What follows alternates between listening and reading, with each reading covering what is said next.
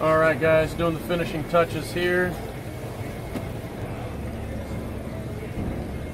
Getting these uh, placed right where we want them.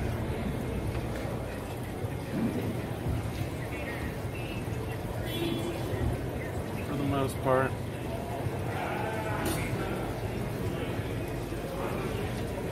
I guess I can stand back here in a second. Kind of let you see what uh, what we're working with on this guy. There were some uh, bigger discs that take up a little bit more room than a plug. So when you get 130 coral and you got a spot for 130 plugs, you need to get a little creative. So we got some stuff tucked in the back and in between here. Definitely a nice system. Guy actually just came over, uh, caught his attention because most people's frag racks are sitting flat, kind of like you're viewing in this video. But we'll step back and show you uh, why it definitely gets attention.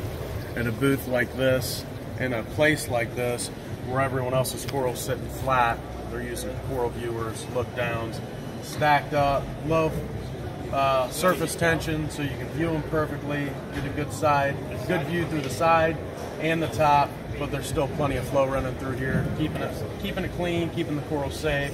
Two filter socks, plenty of room for media and whatever else you need inside.